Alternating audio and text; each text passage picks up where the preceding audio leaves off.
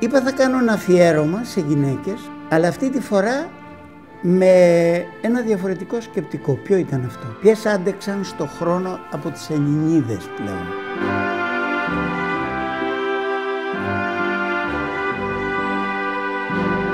Ατελεί στο χρόνο. 10 γυναίκες οικαστικοί. Το Μουσείο Φρυσίρα παρουσιάζει 10 διακεκριμένες γυναίκες οικαστικούς. Σε αυτό το επεισόδιο θα προσπαθήσουμε να γνωρίσουμε καλύτερα την οικαστικό Εύα Μελά, που δημιουργεί έργα με πολιτικό πρόσημο και κοινωνικό προβληματισμό. Για το δημοτικό κανάλι Attica TV.